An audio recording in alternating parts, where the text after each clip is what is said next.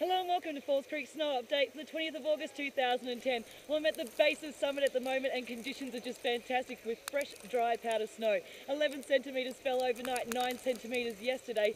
Improving conditions daily. Around the resort now, 14 lifts are up and running. Winds are gusting up to 55 kilometres per hour, which you should watch, but at the moment it's just unbelievable. Hardly anybody's riding this summit. There are fresh tracks to be had everywhere.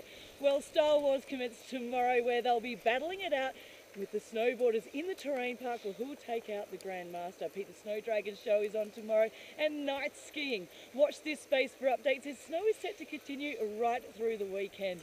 I'm Samara Tanton up here in Falls Creek. It's time to get some fresh air.